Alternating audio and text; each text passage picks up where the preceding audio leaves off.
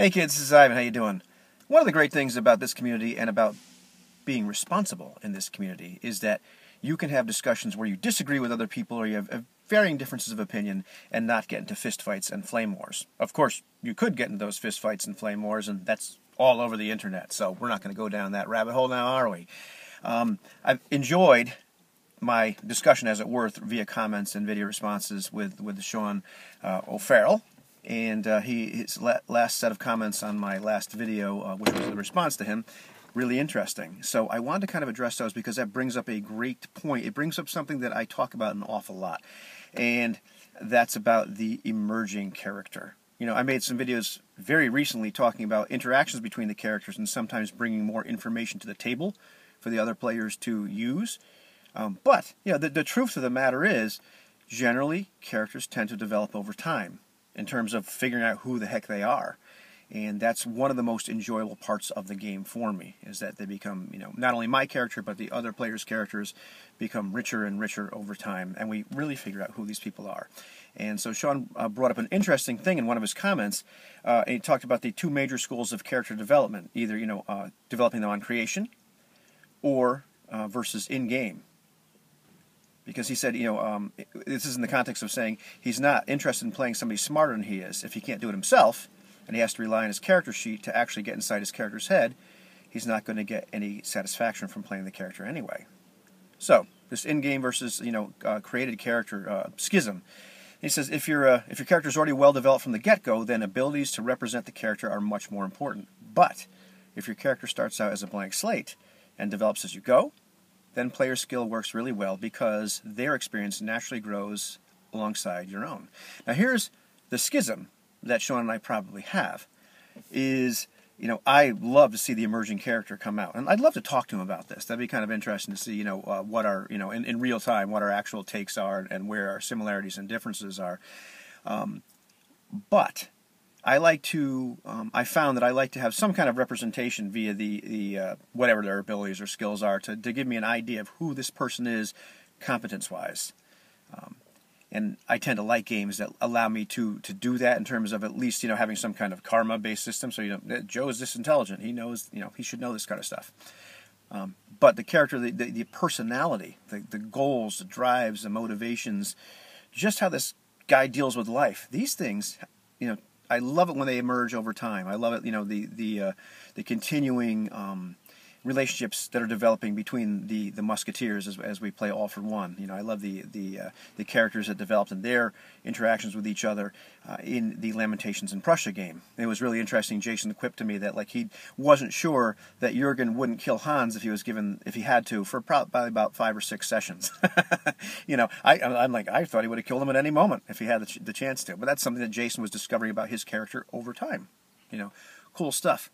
Um, what I am not necessarily interested in is having the um, the character develop uh, along with my skill.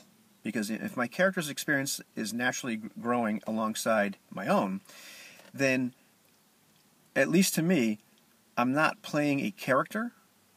The character is an avatar.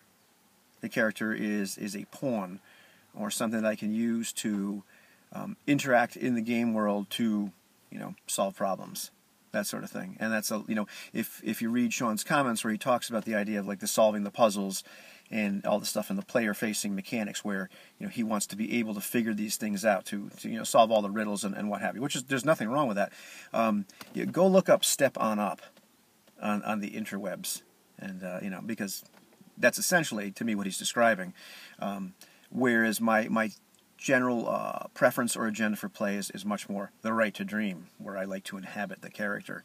So, you know, I understand where he's coming from, but it's uh, it's it's a it sounds like a nuance, but I, I believe uh, in actual application, it's a much bigger schism between you know what character is going to emerge. One of the one of the downfalls also, and I'm not knocking his style, but is you know if the character's experience is growing alongside your own, we all started out as role players, and to one extent or another, we kind of fumbled our way through it. You know, we didn't, um, we hadn't encountered a lot of the problems that we encountered in role playing before, and so we made a lot of mistakes. I still make some pretty good mistakes, but you know, you say your first characters, over time, your experience increased and your character became smarter. They were able to figure out the world a lot better because you were able to figure out the world a lot better. But how does that translate to your next character? Well, your next character isn't going to grow and develop because they already know all the stuff because you bring it with you. I remember running a game of uh, D&D or something like that some years ago, and it was not my best job, but uh, the the party ended up in a room, and there was an object in the room, and it was a little transparent, but a very experienced player um, just blurted out, "Well, that's a mimic," and had his character act accordingly. His character was a relatively inexperienced person, but because the character was an avatar, a tool to you know for that player to use to interact with the game world, that character was in fact you know very savvy, and it's it's something that did not um, jive with you know playing in character, so to speak. Um, nothing wrong with that style of play, but we had very different intentions for uh, for that. You know, whereas you know interacting with a character for me that's if you know just because I happen to know all these things, it's very unsatisfying to have my character now know all these things.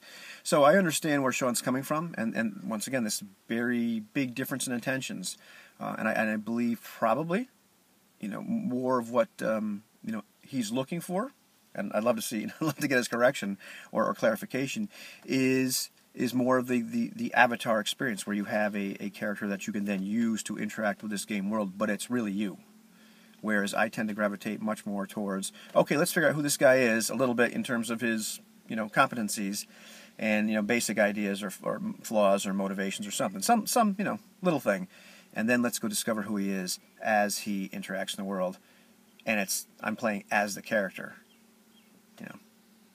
Interesting difference. We both get to see our characters develop, but it's different. So, uh, bit of a ramble, but uh, what do you think about all that?